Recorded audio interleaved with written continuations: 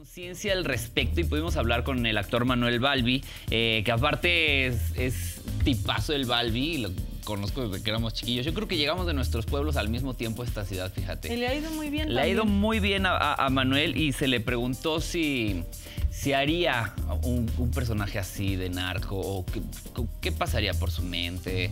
Pero bueno, vamos a ver al buen Balbi, ¿qué nos dijo? No es Balbi. Mira, todavía no me llega uno así, pero este, me han llegado corruptos, me han llegado malos. Yo los agradezco mucho porque en todas las historias tiene que haber un equilibrio.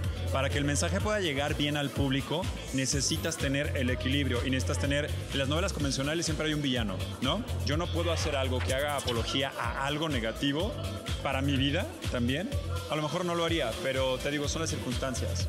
Pues estamos en época de presidenciables, entonces tenemos toda la información, pero calientita, calientita.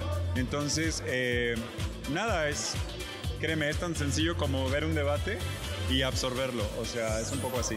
En, en general, yo creo que sí va, va a generar empatía con, con la gente. Mira, dice que en su próximo proyecto va a ser un político que a lo mejor un narco no, pero es que a él lo conoces en persona y es Ya todo ni sabes qué bueno, está propio, peor. educado. ¿Cuál de los dos peor? Ay, ya me callo, si no me voy a acabar corrido. ¿vale?